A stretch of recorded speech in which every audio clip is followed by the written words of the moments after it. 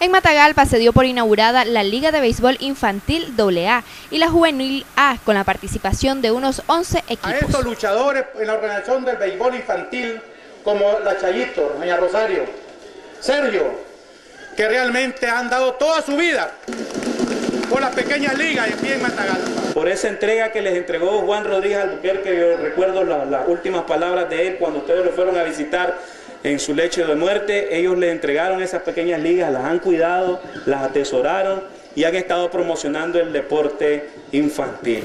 Juan Rodríguez fue el pionero del béisbol infantil. Ahora quienes lo retoman, Sergio Gutiérrez y Rosario Úbeda, con la misión de impulsar el béisbol entre los niños. Ellos tres, junto con otras personas más que estaban ese día, estaban impulsando una liga.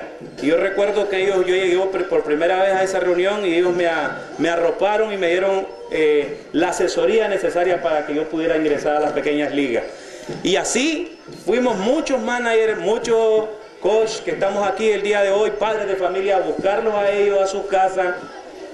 Don Juan Rodríguez Albuquerque, que él fue el que nos dejó este legado y gracias a Dios con el apoyo de todos, de los padres de familia, de nuestro alcalde, que siempre que le hemos solicitado al ingeniero Sadra Celedón, ha estado de la mano con nosotros cuando vamos a un departamental, él nos ha apoyado, a un nacional, agradecemos. En este acto de inauguración se les otorgó reconocimiento a quienes han hecho del béisbol infantil una parte importante y vital del deporte matagalpino. Y vamos a decir prometen cumplir cumplir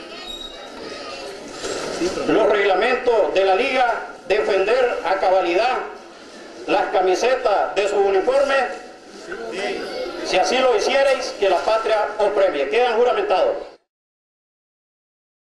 Con colaboración de Yeste Vélez informó Jocelyn Pérez para Noticiero 6.